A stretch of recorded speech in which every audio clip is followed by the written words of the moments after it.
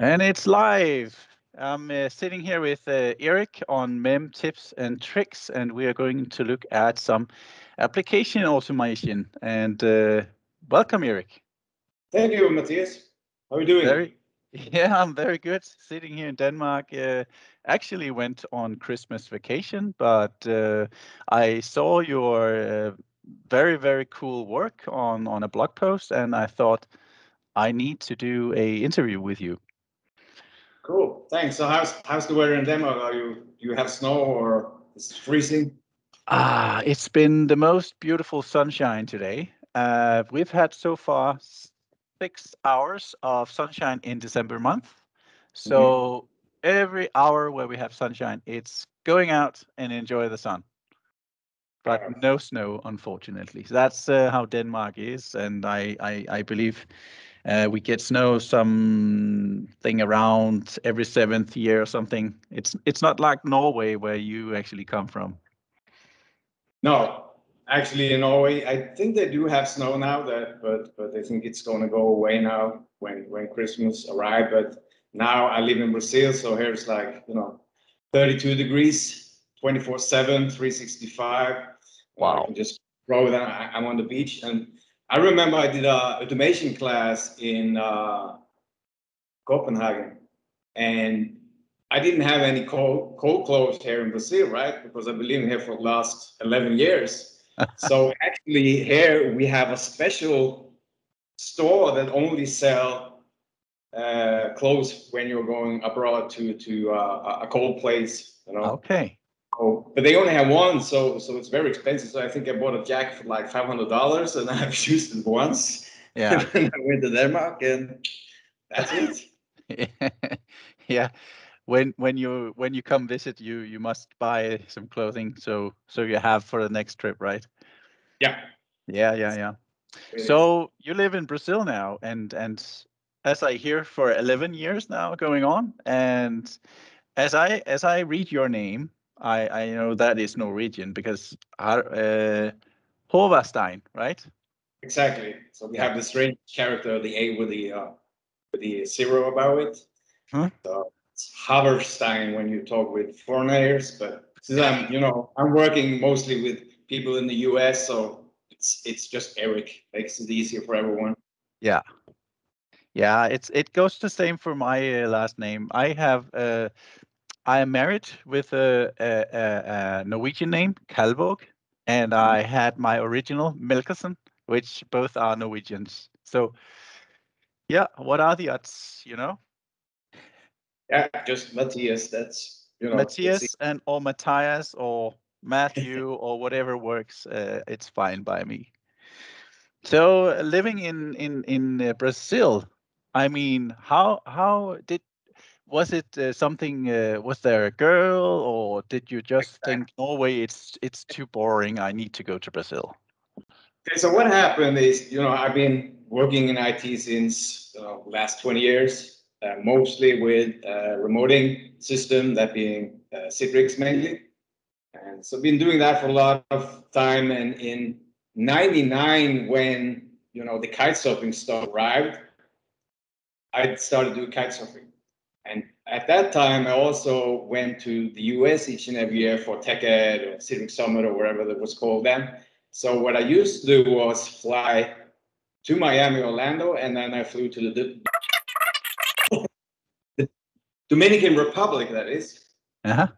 And that was one of the best, well, actually the best place in the world to do kite surfing. So, you know, I spent one week in in Orlando for the conferences. Then I spent two weeks in the Caribbean doing kite surfing, and then I went back.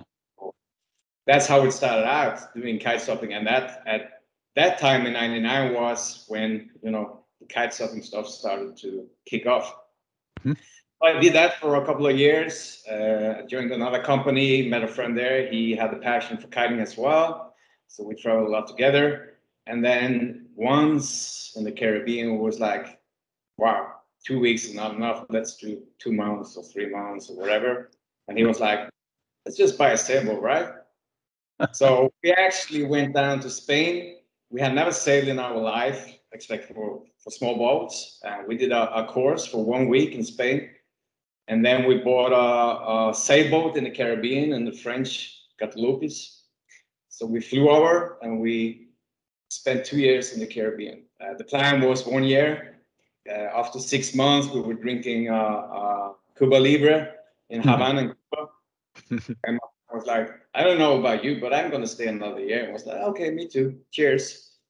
So we ended up staying two years, traveling around the world, and uh, and then at, at, that time, we spent a lot of time in, in Venezuela. I think I lived there for like nine months. So I learned Spanish there, and then we went to Colombia, Mexico, all, all, all, all over the Caribbean.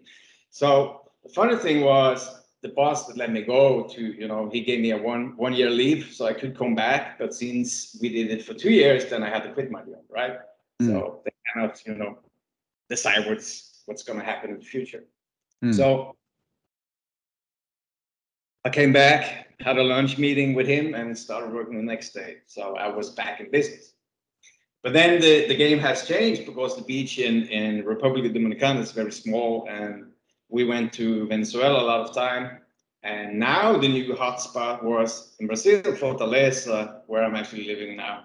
So wow. I went over here uh, with my wife to become uh, travel here like you know three four times a year did you know 50 50 work doing holiday and doing working in the morning uh, i started my blog i started my training to have an you know an extra income and i went to the boss again which let me go to the caribbean and i told them wow, i want to i want to live in brazil okay no problem so i actually ended up living in living and working for a Norwegian company in Brazil for more than three or four years, I think. Okay. Then they let me go. They had some re-instruction, uh, re, what do you know, yeah. reorganization stuff in in uh, in Ergo Group at that time, or ever it's called now. And probably there was some boss wondering who's this crazy guy we're paying down in Brazil. So they let me go, mm. and uh, then I just focused more on on the blog. I got a lot of sponsors on board that did more training. Mm. After that, training business, you know, went down. People don't have time for doing training anymore. So, and then I decided, you know, let me just start doing consulting again. And since I've been doing my blog so long, I had, you know, an email list of like 10, 15,000 users. So I just blasted out an email and lucky me, I got a contract and I've been there ever since. So, mm now I'm working full time uh, with a US company. Wow. And lucky lucky to have uh, Adam Gross, MVP, as my colleague. So it's going, uh, yeah. So, doing, I... so when I started in, in this company, I was mainly doing Citrix automation. We automate everything. You know, we have tons of master images spread across the world. So, you know, did all that kind of stuff automatically. And then there was a, a, a, position in Adam's team because he became a supervisor, and we have a lot of apps that we need to convert to next year. So you know, I basically went back to where I started out because in the early days I did Citrix, but then I did uh, application certification for the Citrix platform. So we had packages coming in from India, where the package team was sitting and I was the one, you know, certifying those apps to make sure they was working in a multi-session environment. And now I'm actually I'm, I'm back in the app business. And when I started out, that was like, okay, there's a lot of step you need to do in SCCM to create a package. And you know, I'm I'm all about automation. So I jumped on that, and that's how you know that we got started. And then there was an opening in Adam's team, and I joined that. And now it's you know it's apps 24 7 mm. and that's why i released uh, this blog post uh, that caught your attention oh yes but you caught my attention uh, long before that and and you know that because i've several times i've wrote i wrote you i need to see this Eirik i need I, you need to show you need to show me this yeah so really interesting. Uh, you are in the same area as I am, and and it was actually Adam who who uh, who helped me uh, along on on the MVP for for for for for myself. So I um, I owe him a big beer once I see him personally. Um, so cool to uh, to work with him uh, every day. Um, so I, I feel the pain about applications and uh, in in in config manager yes applications they were uh, when I started in in in that business it was uh, just creating a package with collections programs at advertisements it was uh, 84 clicks per app for a install and an un uninstall command and it was like this needs to be automated and and so we did. We actually created a a, a tool that we put upon uh, config manager, which were called Software Central, and it's it's it's it still uh, lives out there uh, in a lot of uh, customer um, um, uh, uh, config managers, and and and now I mean there there needs to be some something helping Intune as well uh, on that transition, you know, from config manager to to the cloud because it is a pain point where people really have been adding a lot of time and a lot of effort and money uh, on the application part. As you said, you are uh, automating this stuff, and and and in order to transition from from from the config manager to the cloud and start using autopilot and all that stuff we need to be more automized in how we can can do this stuff. And that's why why your blog really caught my attention because that is where i really want to to improve. Um, so uh, so yeah uh, i mean there are lots of uh, applications uh, today that goes into the store or we have winget or other kind of, of formats where where formerly we we did everything in msi and what it was not in msis we were repackaging to msi but but that's tech, that's a technology that's from 2000 so so it's it's pretty mature you could say uh, or maybe it's yeah too mature maybe. Uh, so we've had AppV and we have had MSIX and we have CimFS and we have um, uh, v, VH, uh, um, VHD um, that goes into to Azure Virtual Desktop, right? So we have a lot of um, application formats that we need in our new way of working. So so so my thought you could say with this was to, okay, how can we do this more easily for our Windows uh, 365 platforms, for our Azure Virtual Desktop, for our Windows 10 desktops, for our Windows 11 desktops, etc. in the cloud. And that's where, yeah, you know, application automation comes in. And uh, Eirik, I've seen some quite amazing stuff from your hand.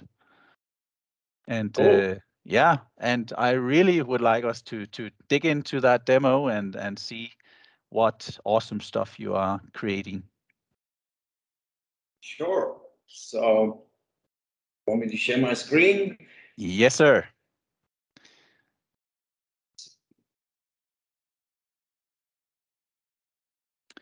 That one.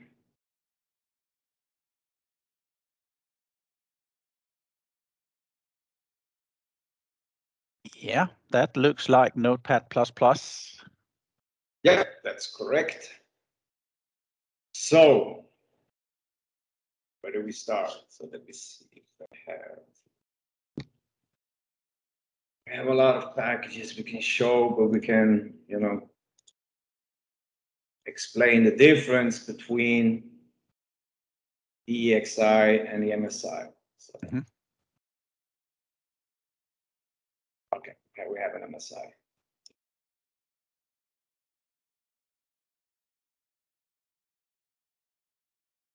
Okay, so basically, you know, when I get an application request wherever, I need proper information. So that being the metadata of the application itself.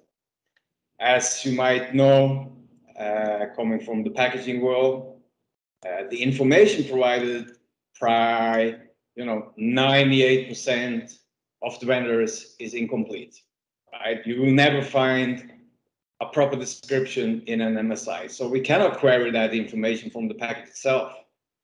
So when I started out with application, you know, I, you know, I filled it out, but then I ended up having, you know, 50 different version of my PowerShell script because one was querying the vendor and one was querying something else because you know the, the information wasn't complete here, right? So even if we go into this one from Microsoft, we don't have a proper description, right? And and they haven't filled out the URL, the homepage, and all that kind of stuff. So I was just, hmm, we kind of we kind of keep on going at this pace if we're going to convert thousands of applications. We need a better way. Mm-hmm. So what I decided upon was to create an XML file because it's easy to read, it's easy to modify, and it's it's good for the eye. You can instantly see what information we have here. We have Microsoft Corporation, and then we have you know the product name, which you can easily find by using the amazing Master Packager, which is free for the basic stuff. So forget about all the, the what's the name? I don't remember the name of the, of the old one we used to use, but after Master Packager came out, that's you know my go-to uh, tool. So basically, I just copy and paste the information that I want, and I put it into this simple XML file. Mm-hmm. And you do that manual. Yes, I do yeah. that manually. The product code can easily be acquired by using the tool from uh, Nickolaj, the one that we use to upload the package. So we can easily go in and query the Intune package and then find product code. Mm-hmm. But we won't have the description, right? So the description will be missing, the icon will be missing. Uh, if you're using a, an exe file, which is a bit more complex because we need to provide the detection rule. Because when we're using an MSI, we're using the product code as the detection. Method. So that's easy. Yeah. But then you have packages uh, like this one, which is Adobe Air, and that's not an Adobe product anymore. It's managed by something called Harman International. And this package doesn't have the proper detection method because we have exe files that do have a product code because a lot of exes is just a wrapper for the MSI. And when I do have that one, I just use the product code from the MSI, which shows, you know, an add remove. But when I don't have, then I need, you know, to find the unattended installation string, for example, and use that as a, a detection method. Mm-hmm. So basically, when you know I, I, I start out, okay, I have this application. I don't, you know, what's what's description. You know, I I just Google it. So yeah. If you go, we can use Notepad plus plus as an example. Check this correctly. Notepad plus plus, right? So here I get the wiki information, which tells me the description that I want to use. And it also has an icon. Mm-hmm. So then I can easily go in here and just grab the icon. I find the one that fits me best. So this is not proportional. So I try to find one which is 500, 500. You know, the max for SCCM is 500 pixels. Mm-hmm. So when I go and grab these icons, I you know take this one 400 400 perfect. I copy that and save this as an icon file. And I even though Intune support higher resolution, I don't use bigger than 500 because I'm also using the same icon to create packages in SCCM. Because the thing is that as much as you and me want to get away from SCCM, it's going to follow us for a long, long time. And the reason for that is that the server OS doesn't support Intune. Mm. So being in a in a mixed environment, let's say we we manage to get all of our you know users and persistent VDI to Intune, that's cool. But we still have all the Citrix massive images spread across the world. And when we get new apps, we need to provide those apps in SCCM as well. Mm. So that's you know hopefully the the script that went out on the blog post, that's just doing uh, Intune, but I have a newer version which also does uh, SCCM packages. That's the reason why you in the XML file here will see SCCM false or true. So that way I can easily create SCCM package as well. I'm going to show that. So very cool. Very so what I'm doing is that you know you can configure the script as you want. Uh, what we're doing here is normally at the customer we have an ID of our application. Then we have a media folder where all the crap goes in, README files, license files, or whatever. Package is the core minimum that needs to go out to SCCM because we don't want to pollute our system with a lot of files we don't need, and the same goes for for Intune. Hmm. So if I want to build a package for where we? I don't remember the Harman code that was oh, let's see, here. So I see the idea is uh, 04. Let me bring up PowerShell here. Mhm. Let me cd into that folder. Cool. There should be some script here. As you can see, I have a create application version four there. That's also create SCCM. SCCM table. And then it's gonna ask me for the ID, right? So that's gonna be thousand. So now it's gonna, it's gonna check the XML file. It's get all the information that's required to build the app. It's gonna build the Intune package, and then it's gonna push it up to Intune for us. That's And we cool. also have the pilot group, so we can define, you know, which, which group we want to use to, to test the application. And that's, you know, being a group that I'm a member of, you know, I test all the packages and all the kind of stuff. So building the package itself, when you have an existing SCCM environment is easy because you have an existing SCCM application which works because it's in production, right? So you can basically go into SCCM and copy the information that is required to build the application. Hmm. So it's pushing it up. So one question, when when you push it up, you you need some kind of authentication, right? Yeah. So- So, so- using the Connect MS Intune graph, which is popping up now. There you have it.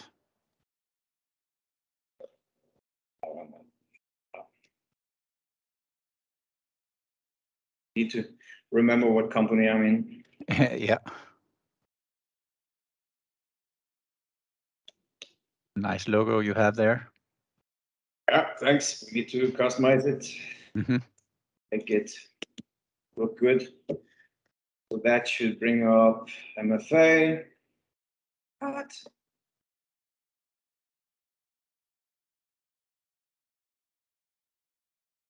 So I need mapping to be okay because I'm in the office, I hear a Norwegian keyboard. When I'm at the home, I have a Portuguese keyboard, and when I'm at my customer, I have a US it's not it's not easy. Yeah, so when you roam between and reconnect and, you know, the keyboard layout sometimes screws up. Hmm. Okay, so we're there, so let's see if we can go to endpoint. Never remember that. They just call it Intune? yeah, that would have been uh, nice. So at the moment,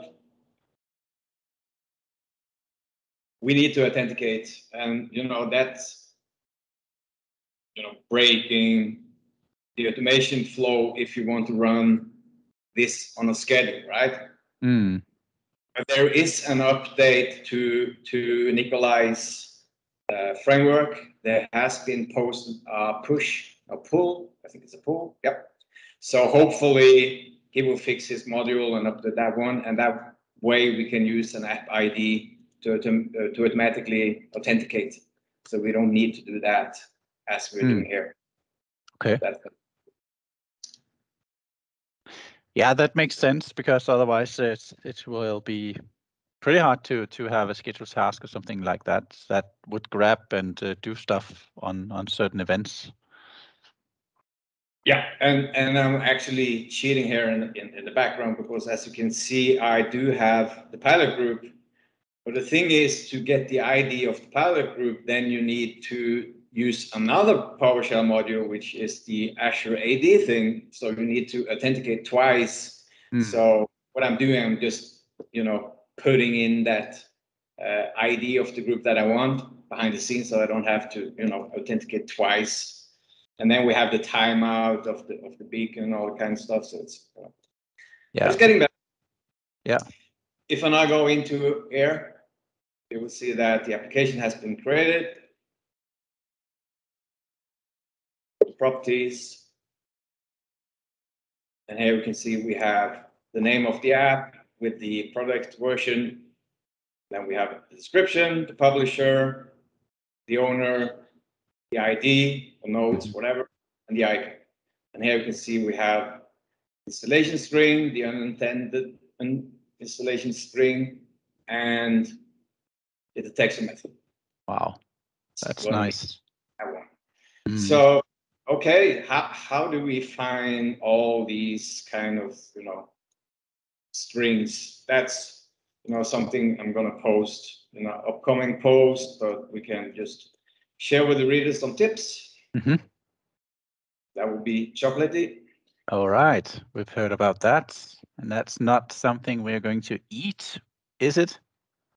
No. So chocolatey is, you know, chocolatey is basically what's what's Winget is. You know, it's a lot of products and they have the unattended installation strings. It's a service you can buy and so on and so on. And I never managed to click. So one thing I'm asked when we go to community tools like this, because we are working with applications, people are scared of having keyloggers and, and stuff in their organization's uh, devices. So what's what's your take on that?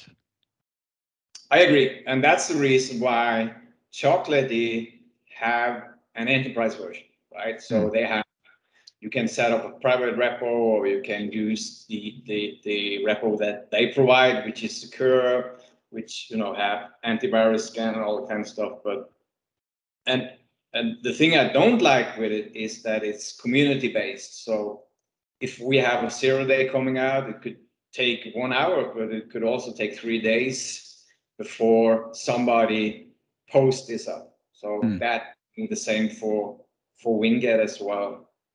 And uh, I actually do have a surprise for you with another demo where we are using the Evergreen module.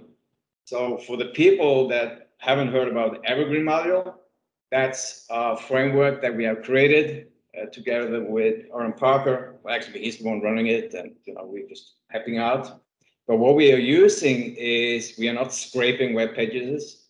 We are using the vendor's web page or the GitHub or the SourceForge, and we're also using the vendor's update API. So when you go into Notepad plus plus and go into Windows, where is it? You know, uh, update Notepad, it's going to send IP query to Notepad to find out if there's a new version. And if there is a new version, it's going to return the download URL. So that's basically what we're doing with, with the Evergreen script. We're using the vendors, and that way we know that it's safe. Hmm. Because I'm just waiting for the day that some hacker group is able to upload something bad to Winget or Chocolatey, right? We've seen hackers being able to to put in malware into a Windows signed driver. Yeah. That's not a good thing, right? And and and HP had a keylogger in one of their uh, drivers, right? yeah, I remember that. That's a couple of years. Oh, yeah, it's a couple of years ago, but it's it's bad. It's really bad. Yeah, and it's crazy, and it's it, it's getting crazier each and every day that passes. So we, we need to be careful. Hmm. So, okay, so let's go back. I, I found found the place. You you find the package, and then you have files. So if you go into show the chocolate install file here, you will find the uh, the silent install install install strings somewhere. Mhm. But this is MSIX, so we just have slash x. But you know, get a Alright. feeling. Just Mhm. search for wherever you want. There's another one, Silent Headquarter. He's doing a lot of great stuff. So he's posting uh, articles with the silent toll strings and also the uninstalled strings. So as you can see here, we have the MSIX, blah, blah, blah. But here we can also find the product code of the app if we want to do a an installation or whatever. Oh, wow. There's an installation here. Let's see if we can find a better, better example.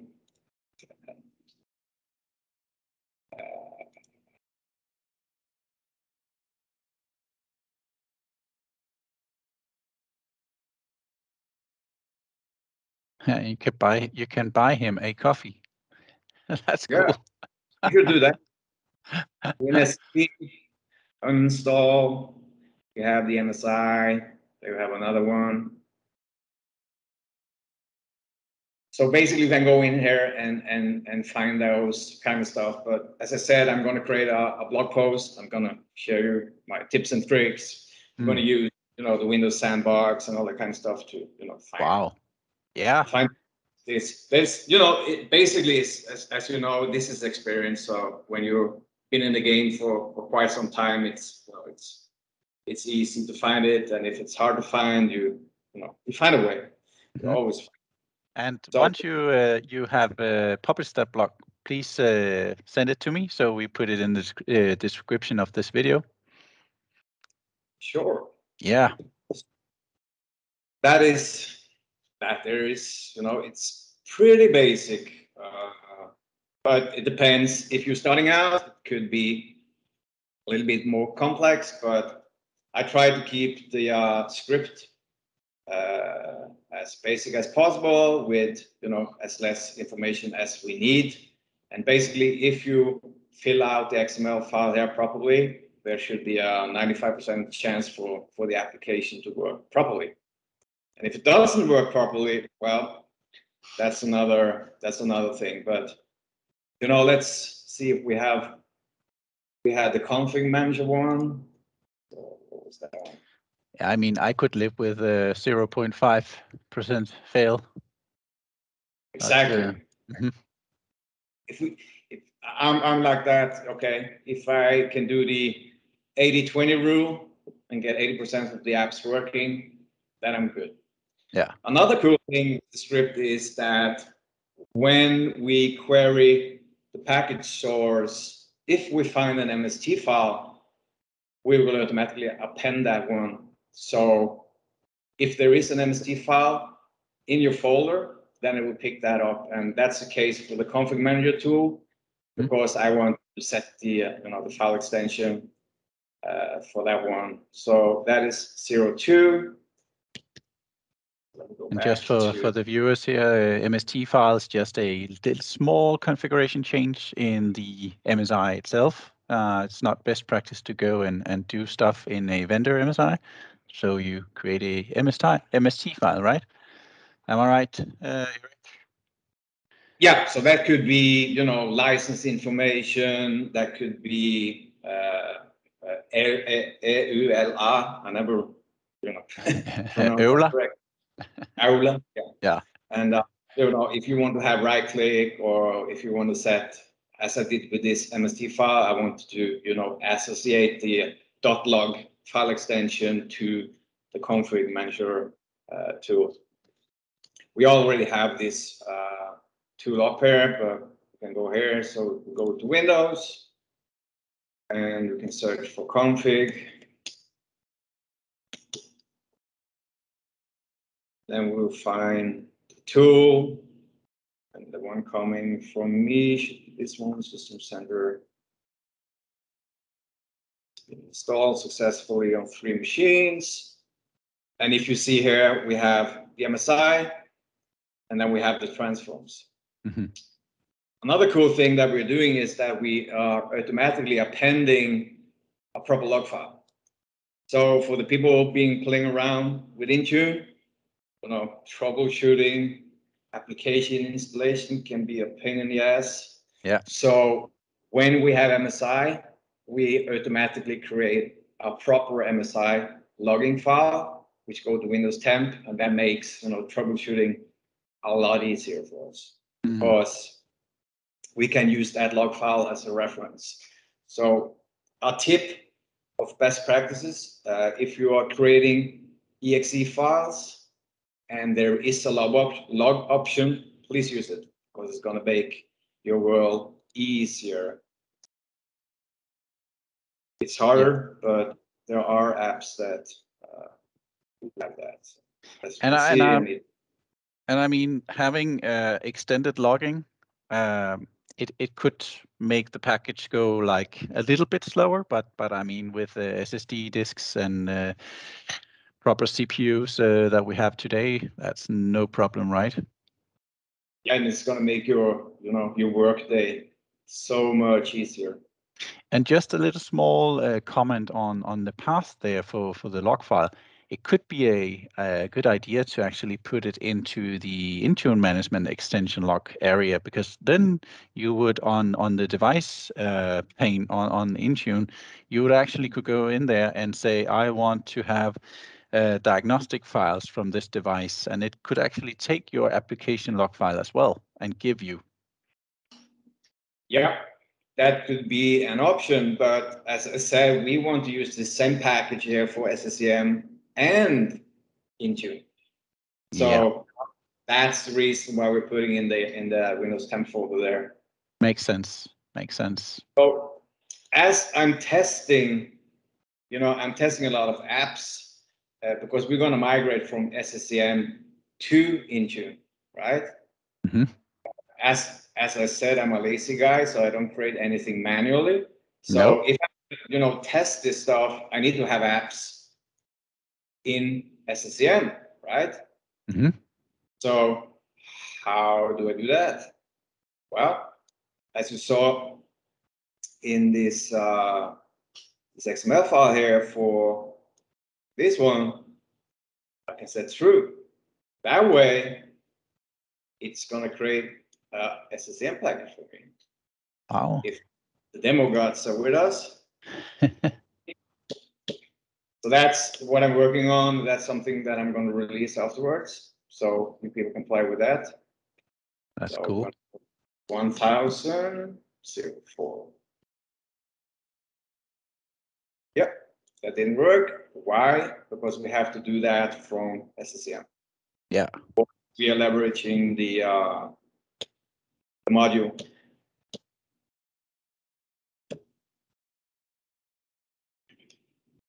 That's fair. There are some code behind modules to be used. Yeah, so let's go into the Win 30. App. There we go. Okay. So we're gonna create one, we're gonna create one for SCCM. One, two, three, four, zero, four, was it? Yeah. Zero, four. That So now it's better. copy- Yeah, so now what's happening, it's, it's gonna copy the package from the package source, and it's gonna copy it out to my software library, and that's the one that's referenced inside of SCCM. All right. The Application's being created. Now it's gonna create the detection rule. So what, what about the application uh, uh, in SCCM or config manager? It needs to go to a distribution point. Are you just targeting all distribution points or? I only have one, but yeah, when when I do that, you know, I have since I have so much confidence in my script and I'm running, you know, running it all the time, I'm pushing it out to all the distribution points at once because as I said, 99% of the chances the package will just work as Hmm. as it's running. Yeah. But you know, when you're starting out, you should, you know, you should do uh, just a single distribution point. So in my script, you can set if you want to do a distribution group, right? So if you want to test it just one, just create another distribution group and just put one server in there and, you know, so you don't blast, you know, 10 gigs all over the world, right? yeah, it's gonna gonna put some delay on on all the services around. Yeah. So yeah. if I go here to air, you can see we got the package created. Great success. So if we go into the properties here, you will see that I have all the information. I have the icon, I have the description, I have the deployment type,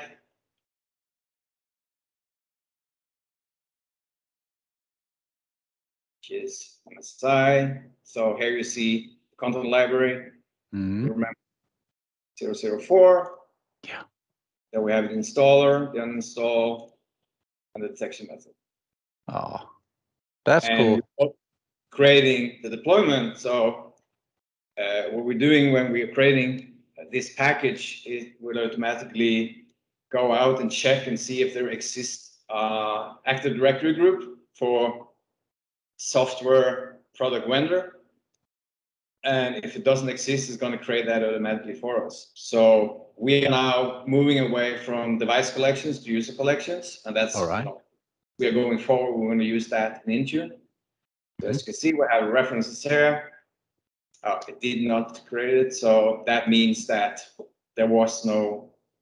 Uh, the thing is with SCCM, it's it's syncing the AD groups each and every five minutes. Mm -hmm. So I run it, I don't pause it. So that's the reason why it doesn't show. But I can just go ahead and software, and you will see that I have all these software groups. And since this Adobe thing was a new package, it's gonna take you know like five minutes for it to to show up here. Mm. But if I go to, for example, icon, maybe I have that one. I don't have. It's gonna put it in there and it's going to create the deployment for us. So that's cool. What I'm basically doing now these days, I get a package in the queue. I create the package for SCCM only. I test it. When it's tested, I send it over to the uh, system manager for that application so he can test it. When it's verified, I just go in and you know push it out to Intune because then I know that the application is working. Mm. So based upon the blog post that I created, uh, there's a, another SCCM dude in the in the community. I don't, his name is Mike something. He have presented a, a lot of time at MMS. Uh, it's coming up in the blog post I'm going to put out tomorrow. But mm-hmm. he basically used what I created in the first blog post and referenced that one and used uh, querying SCCM and using my, you know, my building blocks as a starting point. So now, so that's, you know, my idea when I create the blog post. I'm, you know, I'm not going very detailed. You know, I want people to play around. I want people, you know, spin their brains, and, and that's what he did. And that's actually what I do. So if we go here now, I have all these apps, right? Mm-hmm. The product the project that I'm working on is moving these apps from SCCM to Intune. Yeah. There we have another script. And what we're doing here, we have a CSV file. So we're reading a CSV file, which, you know, have the apps. So basically, I don't know if you people know that, but if you go here and select all these apps, and select copy, you can paste that information into Excel file, and then you get the name of the app. So when I have the name of the app, I can just have, you know, a CSV file. So let's say that I want to test these apps, right? So this is the name that's showing up here. Mm -hmm. And the reason why I have some files with version number, some without, some with description, some without description, is that I need to test each and every scenario that could pop up on the radar.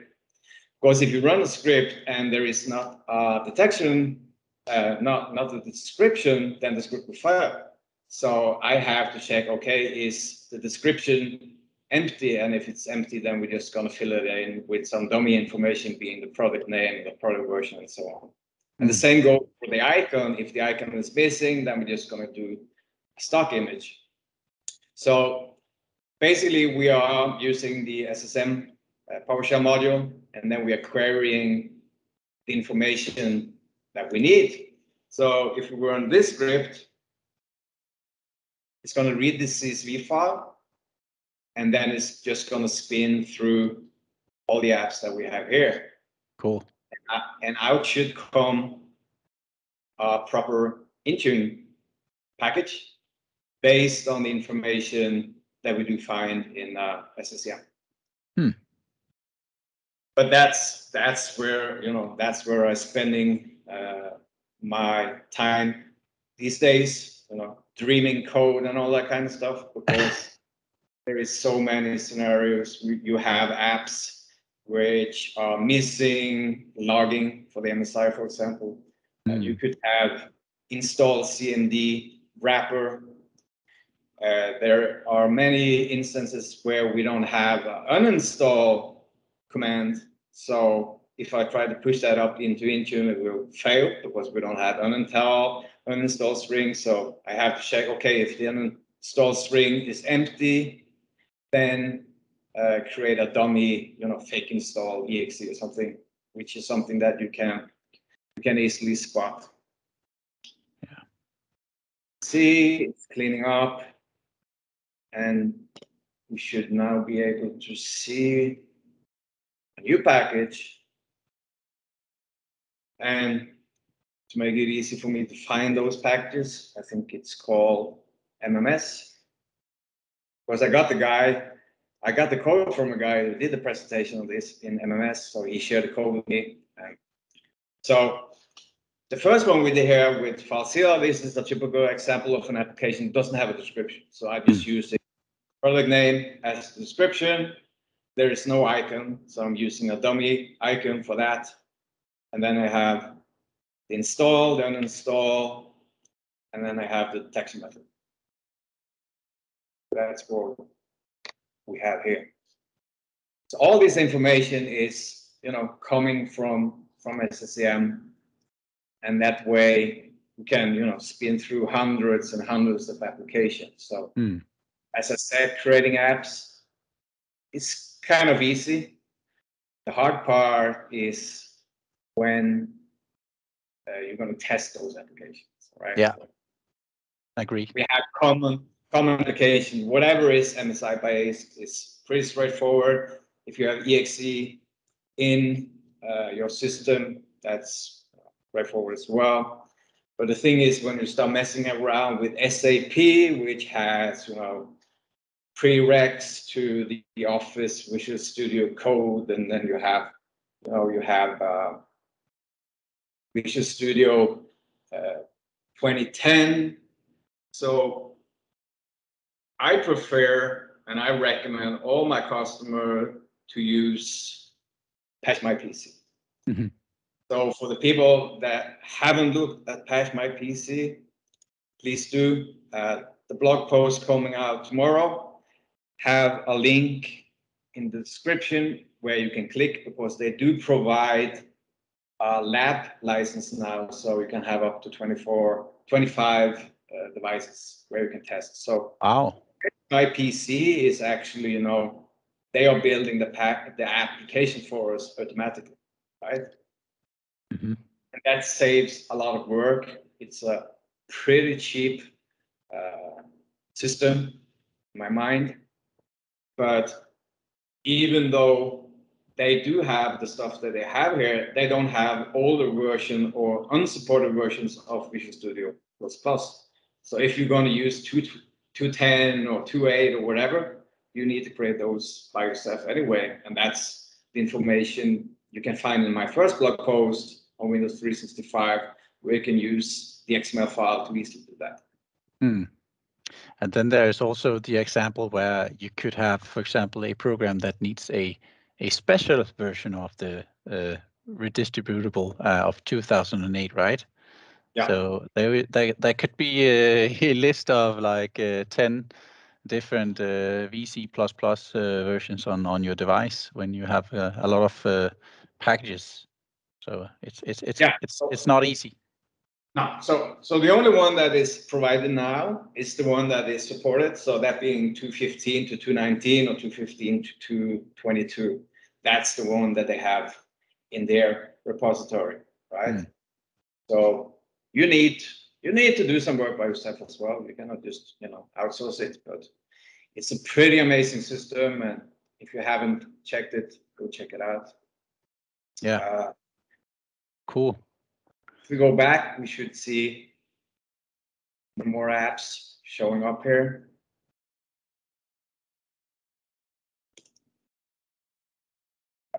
You can see that the apps are being built out as we speak. Yeah. Uh, you know, that's how it goes. That's very amazing, I believe. Having our config manager apps in Intune. And I mean, how much testing do we need here? Because we've already tested it in config manager. So would you recommend that we do the same install and uninstall test for these apps? That's that's a question for you because I find it pretty stupid that I can install an application through the company portal. I have an install string, but I cannot uninstall the app. Why is that? I will have to ask Microsoft for that again. hmm But uh, they will say, okay, what are the reasons for your users to actually go in and uninstall your app? Maybe the same reason why we have an uninstall command in SCCM because they can go into SCCM and uninstall the app. And Yeah. if people, you know, okay, we had a guy, he used to work at the design team, so he installed a lot of uh, AutoCAD stuff, but now he work in finance. So would you reprovision his machine or should he go in or should he open a ticket to install those apps? You know? Yeah. And how, how can I, as, as an SME, or, or me as, a- as a packager or the SME at the company, okay, please go out and test image class, you install it, and now how do I test and install? Hmm, Can't do that. So Nope. hopefully they will figure something out. I have to figure out something by myself going forward with this project, but you know, that's of the game. Yeah, so um, not having too mu- too many of Azure AD groups um, with too many assignments, uh, that's a, a difficult task as well, right? So if you do make a required uninstall for the app, uh, then in, in config manager, you would have collections for it all, right? You would have a install collection, you would have an uninstall collection, and maybe even a available collection, right? If you if you do the same in in Intune, you will find yourself in a place with a lot of Azure AD groups, and it's not recommended to have uh, a lot of assignments to different groups with the same amount of devices or the same users in them, right? There was uh, recently a blog post about how to how to do this and um, why it's not a good idea to have several Azure AD groups with the same objects in them. So um, that's a task. I, I would like And- to see the uninstall button in uh, in in company portal for available apps. Exactly. And and we haven't even started thinking about how to update the application, right? Because with Patch My PC, they do it, uh, you know, they have, they are using a PowerShell script for the detection, so they can, you know, basically do whatever they want to do. And Mhm. that's how it works with Patch My PC, because you make, okay, I'm gonna make Notepad available to all users. And then I'm gonna set the update is gonna be a required installation. So if you have Notepad installed, then it's gonna install it, automatically install the update for you, right? Mm-hmm. But if you don't have Patch My PC or you have some uh, line of business apps, how are you going to update? Because if there is a, you know, let's say a Google Chrome zero update, uh, zero vulnerability, then you can, you know, you don't have control of which user have installed that app and which version they have installed through Intune, right? So if I create a new one and then make that uh, required for everyone, then you, you're going to bloat all the users that doesn't use Chrome because they're going to get Chrome installed, right? yeah. So that's that's something else I need to figure out. Yeah. So that would, that will be a, a meeting with Adam after Christmas.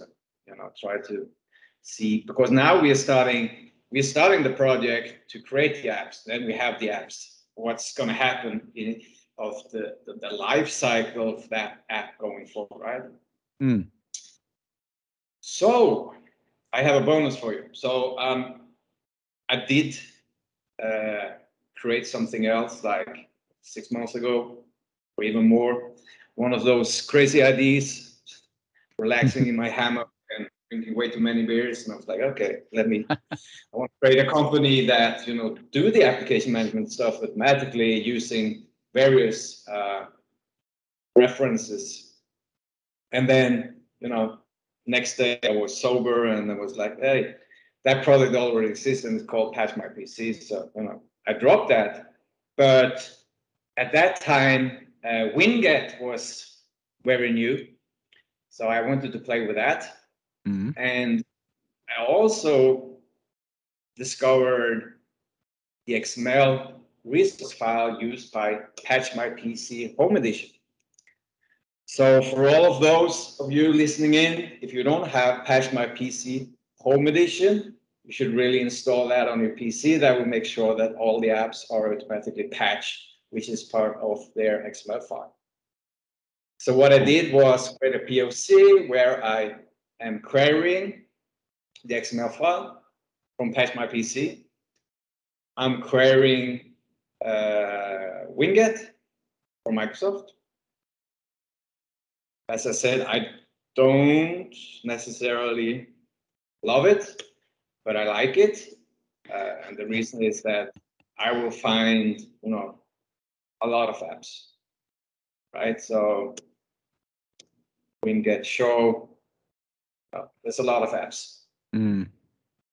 which I And it just keeps going on. Wow. Yeah, it's big.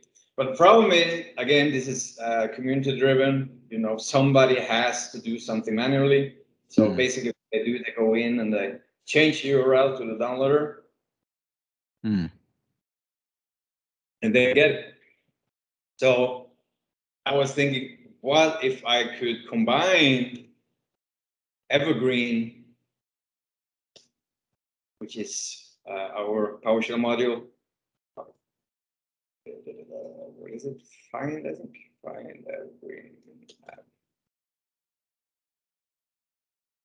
So this is where we're using the vendors update API, that being GitHub or SourceForge or whatever. So when we're using this one, we will always get the latest version. Wow. And there's probably not too many people, especially from, you know, your part of the community being aware of the uh, Evergreen module. That is something that we created especially for uh, the, uh, you know, Citrix workloads or VMware workloads or VDI, whatever, because we tend to rebuild the master image when there's a new version, which Mhm. is the opposite of SCCM, where you know you have the collection and then you target your master images. And for for those of you who have been working with SCCM and Citrix, they don't actually go hand in hand. So you know, there's a lot of stuff to think about. So that's how this module started out. So I was thinking, okay, hmm, what can we do? So on my GitHub repo, I have a an XML file with all this information. We have 935 lines of information here. So we have the same that you saw in my first blog post where we have the vendor product architecture, and then we actually have, you know, the command that needs to be run by the Evergreen script to find uh, Evergreen. We're going to find Notepad++. We're going to find x64, which is the architecture, and where the URL contains an exe file. So basically, I have you know enable, disable, patch my PC, winget, or whatever. So what you would do is pick up the XML file, put it on your own GitHub repo, and do whatever edits you want to do. And uh, just be aware, I'm, I'm putting this out in, in the blog post as well. This was something I did, you know, six, eight months ago. So we don't have a more complex detection method for the engine package. Mm. So what we do here, we're just checking if the path exists, right? So I was too lazy to update. But again, it's pretty straightforward. You go in here, you grab these new lines of code, and you put it into that XML file and, mm. and build it up from there. Yeah. So let's kick nice. it off. Yeah. So let's as you can see, we have a local folder. The local folder is empty.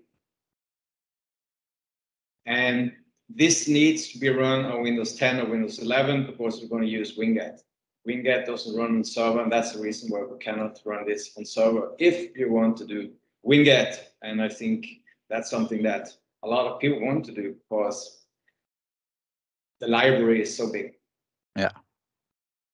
So we kick that one off.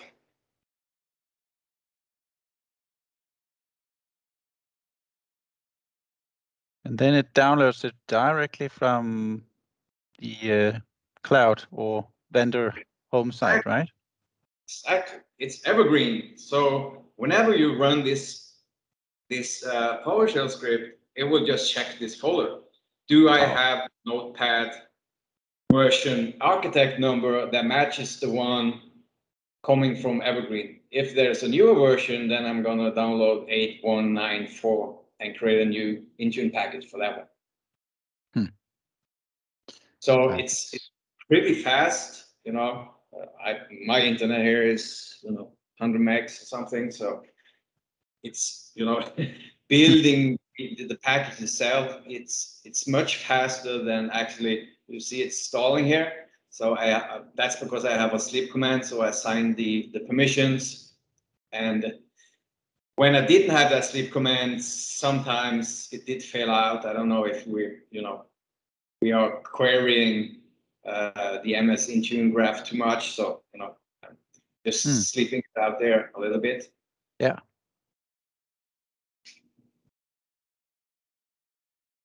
So if we now go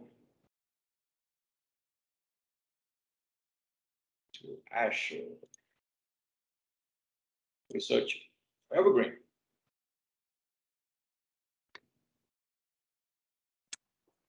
Well, well, well. The application has automatically been created with, if it's an MSI, requiring the MSI for the product code. As you saw, the difference here from the, the one that I showed you the first, where we have the product code in the config XML itself, that doesn't apply for this one because we are actually querying the Intune file itself to find the protocol. So I don't need to have that in the XML file itself. So we find that. So if we find that one, we're going to use that as an unattended string. And we're also going to set the detection rules, right? Hmm. Cool. As you can see here, I haven't modified that script. So if I did update that script, I would, of course, add proper logging and QN for silent uninstall and install. So that's, mm. you know, I can easily fix that in code, take me yeah. yeah. But the thing is here that, you know, we are spinning out new packages here in a very fast manner. And just to give you uh, some some history background here on this one. So when I started this out, I talked to a community friend, and they actually built this out in his company. Okay.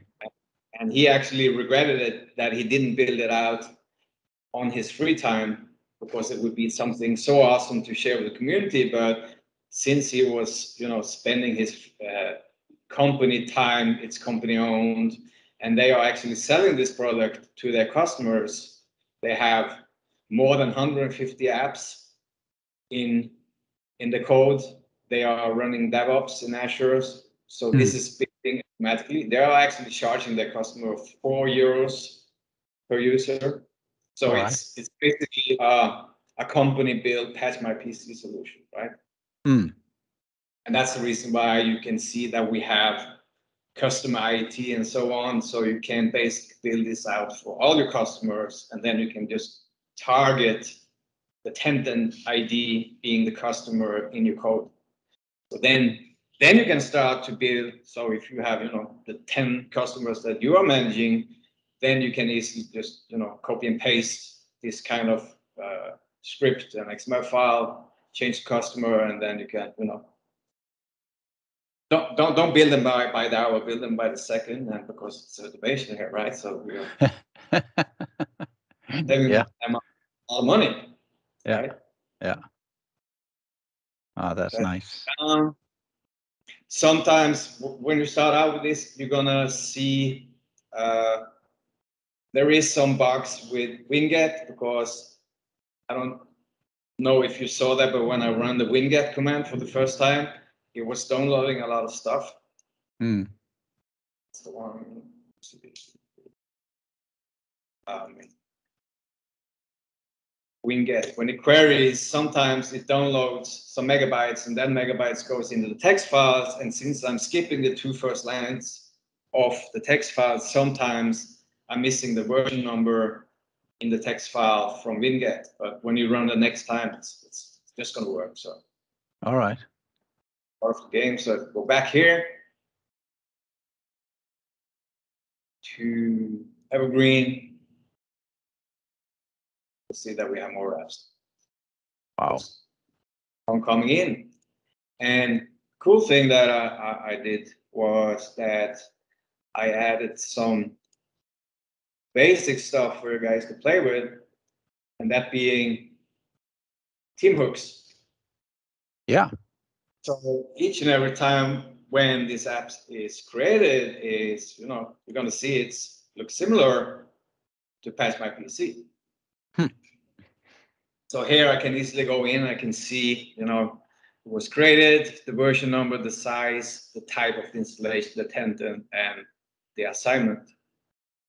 So no basic information, which makes it easier. If we go up, we should probably find you know some of the customers ones that I'm doing. So as I said, we have MSI files, but in some cases we do have an installed CMD, and I want to check that because that this application needs to be looked into because we could we we do have an installed CMD wrapper here.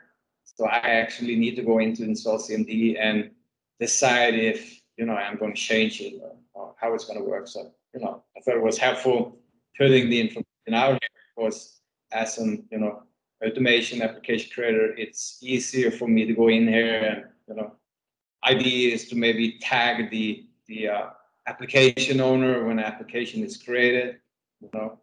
Yeah. I have big plans forward. What if what if we could use you know uh, a site so you know the app vendors ju- just go in and you know put in the uh, MSI file or exe file and five minutes later they get a package which they can test automatically and you know taking automation to the next level or maybe uh, reading the ticket remedy and pulling out information that we need and you know if we can get you know even 70% of the application created 100% automatically and maybe do some kind of validation okay if you know this package is too big or sorry we cannot create this automatically and Mm.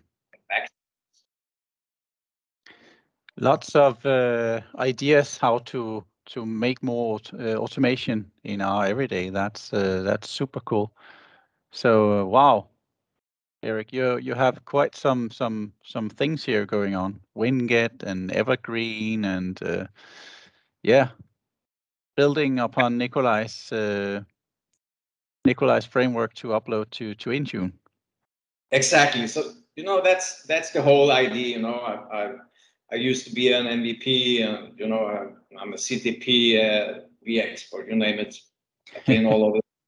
It, it's sharing with the community. So because what what I'm doing here, I'm I'm creating my code and I'm sharing that with you guys, and then you know somebody finds something that could be done easier or better, and you know they share it back, and you know we all improve. And yeah, how how could I possibly create what I'm creating here if it wasn't for Nickolaj's module, right? Mm. So all the you know I've, I've looked into the various uh, other solution that we have. You know, Ben is working on on his migration framework.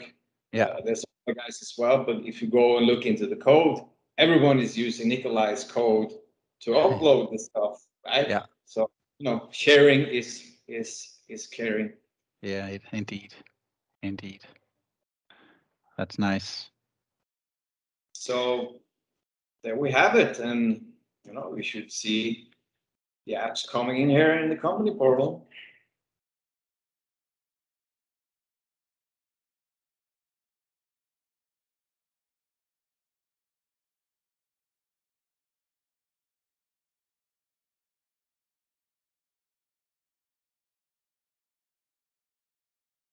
We see the evergreens. Wow.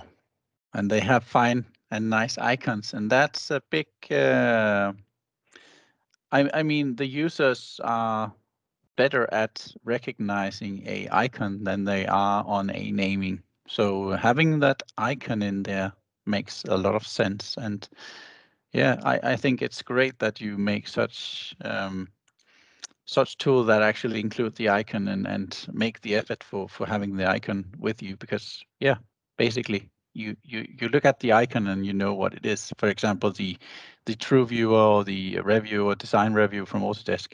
You just know it out of the box if you have uh, worked with applications just a little bit, then you know, okay, that's uh, that's Autodesk products, uh, etc. Right? So that's uh, that's amazing work, Eirik. Thank you. Yeah, I've, I've been discussing this with Adam because if, now I want to have Autodesk in, in the product name. And it's like, why do I want to have Autodesk Design Reviews down there? No, but they know the app based on the name. And it's like, yeah, but they know the app even better because, you know, they have they have the icon, right? Mhm. So as you can see here, we have the icons. If we're missing the icons, we're using the stock icons as we did in this uh, other example. So as you know, as an Intune admin, I can easily go in, oh, wait, we're missing an icon here. I can easily, you know, Yeah. replace that. And what I did to make it even easier, because you have icons like, you know, there's different icons from the same vendor. So instead of using a stock icon, I'm going, okay, if there's not an icon for VMware Remote Console, then I'm just going to use the vendor icon Mm. because that's better. So basically, you just go to the vendor's Twitter account, and then you see the image, and then just save the image as the vendor name. And if you go. So uh, there is also going to be a link in uh, in the blog post, but I do uh, I did upload the uh, icon zip file that I have. So there will be a, a zip file here with, you know, a lots of these apps. And that was an icon pack that I got you know, Hmm. many, many years ago when when Citrix app layering were called Unidesk. So I got an icon pack and, you know, that's been following me and I'm using that. And whatever, if, if there's an icon missing, just go on Google, you find it, make sure you save it as 500 times 500 and good to go. Yeah, that's good to have icon So pack. That's what I had to share with you. So there was some. Thank you very much, Eirik. I, I, I believe that people seeing this video is going to be uh, a lot more uh, expert now on, on, on application packaging, or at least they have an idea of what is possible because you made a lot of things possible here by automating and by telling people how this stuff is working together. So if you have config manager as of today, you have applications, you can easily do migration to Intune. If you have both systems and need to keep on with both systems because you have servers or you have some other uh, kind of clients that are not able to go into to the cloud, then you have a tool also to have uh, application importing into Intune and what goes into Config Manager as well. And then lastly, there was a third-party update pack or session, as I saw it, where we had Evergreen and we have Patch My PC and WinGet. And and and yeah, go use it and go uh, play with it and uh, interact with you, Eirik, because uh, you are into this stuff and uh, yeah. Yeah, is, I'm, is, I'm, is, is that correct? Yeah, I'm, I'm all about automation. I call myself the chief automation officer. Uh, I used to do a lot of training. I traveled around the world uh, doing master classes on infrastructure and code as code, you know, where we where, where we cover this one. I was planning, you know, maybe create a new course covering this one, but you know, time is limited. I don't have time doing this anymore. So I just prefer just to, to share it out. People go in, it's free, doesn't cost you a cent and start playing. Uh, as I say, okay, all the, the different systems out there is, oh, they're awesome. Okay, look here, I can just spin up Windows 365 and it has the Office pack. Uh, now what, right? So whatever solution you spin up there is pretty useless if you don't have the apps. The apps is everything. So Exactly. we need to provide the apps, and that's what I'm doing. The day-to-day product is, you know, it's a it's an Intune product, but this goes hand in hand with with Windows 365 as well. So the desktop you see here where I'm connected, this is what I'm using daily. It's a Windows 365 instance. I get all my packages installed automatically or semi-automatically, patched or whatever. And normally each and every Friday I do a a reprovisioning because it's faster for me to do a reprovisioning than uninstalling all those apps that I've been testing um, uh, in the system. So I, I, did a blog, blog post on that as well. So that was the last blog post that I, I did. I'm pretty amazed by the user experience of Windows 365, how easy it is to, you know, reprovision. I would really love to see uh, the possibilities for the user by themselves to reprovision those those PCs. Mm. So that shouldn't be too hard for Microsoft to implement. Imagine you have a user having a problem. He could easily go in, reprovision, put in his his uh, phone number or email, and then get a notification when the VM is ready. Right. That's a great idea. That's a really great idea. So uh, let's uh, let's get the, that idea to to Microsoft. Yeah, I'm going to pass it on to Christian. So yeah. get it get it working. But it's, it's pretty amazing now how everything you know moved to the cloud and how how fast the stuff is going. You know, mm. we we get previews all the time in in in uh, Intune and in Azure, and you know, a couple of weeks later it's in production. So yeah, you know, we did get that uh, that uh, remote help stuff. I think I have that one as mm-hmm. well. There's remote. Yeah. That's the new remote client. No, that's the desktop client.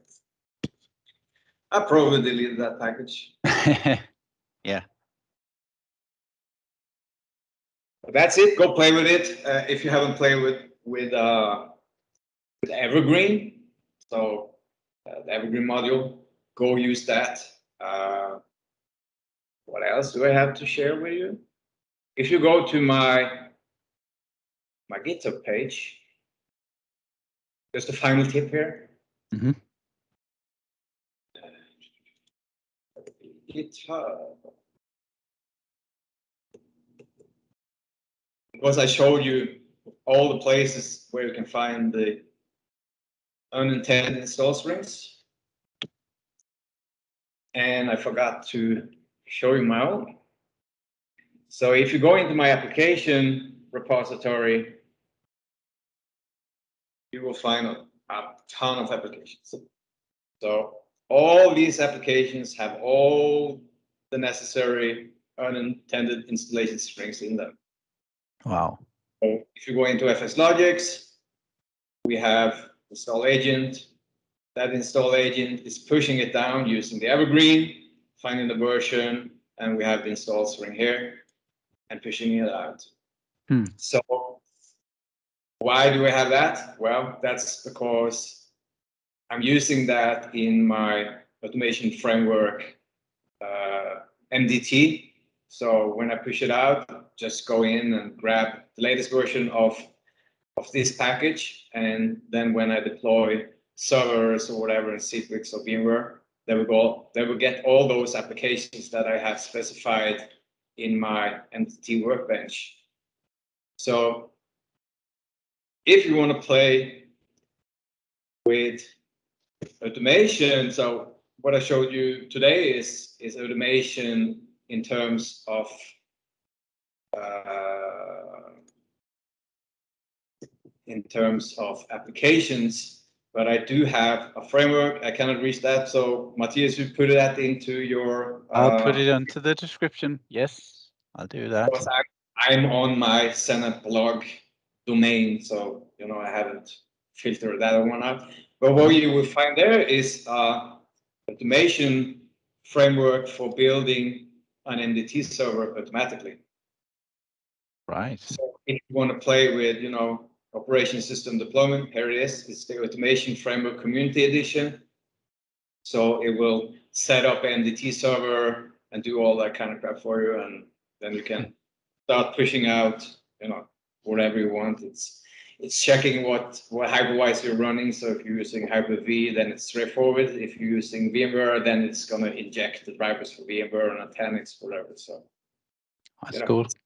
Stuff, same stuff that, that Johan is using, but uh, I, I, built it out for my training students. So mm-hmm. when they uh, you know join my training, they just set this up easily and fast, and then you know spend time doing deployments instead of spending time uh, doing this, you know, uh, setting it up. Another yeah. cool thing is that you can use this at the customer. So if you have customer that doesn't use uh, doesn't use Citrix, or doesn't use SCCM or MDT, whatever, you can just put this on a share, and then you can just browse to that install PS1 file, just run it, and then it will install the latest version of, of uh, Firefox into your system. Hmm. If you're using systems like PDQ, you can also just point PDQ to that one, and then you can blast it out to the whole company. So we're using that at uh, some customers in San Francisco. It's a restaurant chain. So we are basically just pointing to the evergreen script for the installer for Firefox. Then we just target all the the various uh, computers in the restaurants, and then we can push out the software in easy ways. That's pretty wild. Nugget. Mm-hmm. I'm amazed. I'm amazed. All this automation, it uh, it makes it easy to to maintain, and uh, yeah, as code is just cool. If you haven't started with automation, now is the time because going forward is uh, it's automation. And if you go to the to, to whatever uh, you know job posting, they are asking for automation skills, PowerShell skills, cloud skills. So why don't do it? There was a tweet today, I think, how to set up a free dev subscription in Azure with up to 25 E5 licenses. Mm-hmm. I can share that with you as well. So for people that doesn't have you know started playing with Azure and Intune, there is a free option for you uh, yeah. from Microsoft that you can use to get started. Yeah, that's basically you know that's the big takeaway here. Get mm-hmm. started. Exactly. Get started, and uh, once you know it manually, you can automate the stuff, right? So, um, yeah, and you have the recipes right here. Yep, you will find it at my GitHub so there's also one here for pushing out hypervisor if you want to do that. I had a customer, he was requesting, uh, he, he was about to deploy 500 Xen servers across the world. So I wrote him a script and use TFTP, and you can also use that to deploy ESXi as well through PXE if you want. So it's right. a lot of stuff. Yeah. Just go play run? That's a couple of hours uh, of reading here and uh, going through all the scripts stuff. So uh, yeah, that's uh, really cool, Eirik. So I, I just want to thank you for for this uh, impressive demo. I, I think really it was really great, Eirik, and uh, I can see that you put a lot of effort in in what you do, and I can see why people would would would go to your classes because you are certainly a masterclass. So uh, thank you for being on the show, and thank you for for showing me and all the viewers, and yeah, I'll uh, I'll vote for you uh, for a MVP in the future. Thank you, thank you, Matthias. Uh, great to join the show. And if people have questions, uh, just reach out on Twitter. If you're not on Twitter, go on Twitter. You, yeah. Know, you will find news on Twitter before you see it in the newspaper. And you know it's very hard to stay on top on what's happening. And you know for me, I, I don't read newspaper anymore, but I do read my Twitter feed, and that's where you know I pick up everything which goes on on a daily basis. So, mm. yeah, go go to Twitter, go follow Eirik. Thank you a lot, and uh, have a nice Christmas and uh, New Year. Same to you, Matthias, and until next time, bye bye.